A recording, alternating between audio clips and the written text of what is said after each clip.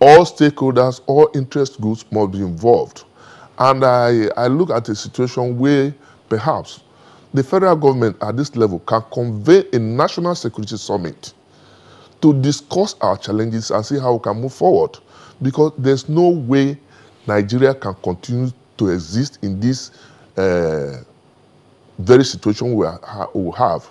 And another major problem is that uh, our security is politicized. People are not telling the truth. And it is disturbing that uh, the military will continue to tell us that today we have 600 people killed, 1,000 killed, no pictorials to show us the, the casualties. And I ask, how many are these Boko Haram people that are being killed every day and yet they continue to attack villages? It's disturbing.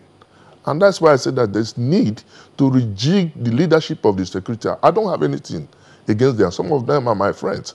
If they cannot, on their honor, voluntarily throw in the towel to allow for this, then the president should do the needful by appointing new service chiefs. You know, regarding the, uh, I mean, the pictures that you talked about having some form of evidence in court, there are those who think that this should not be uh, a, media war, as it were. This is not, I, I think the term, oh, this is not a, a, match of football or cricket where you showcase everything happening. So what is the component, uh, or what, what is the, uh, well, how important is the component you have mentioned, especially because they say that during war, you keep your cards close to your chest. So how much of an effect will that have? You see, that, that in itself, you know, it's, it's uncivilized for you to begin to show all those uh, pictures. But I tell you that it also has its own psychological effect on the terrorist if actually they are being killed. With this advent of social media, is there anything that is hidden anymore?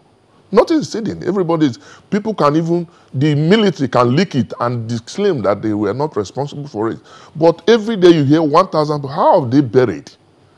How do you account for those people that are buried? Mr. Jaffa, my worry is not the number of people that are killed daily. Yeah. The, the, what is your worry? What, what do you think is the missing link? But that the, the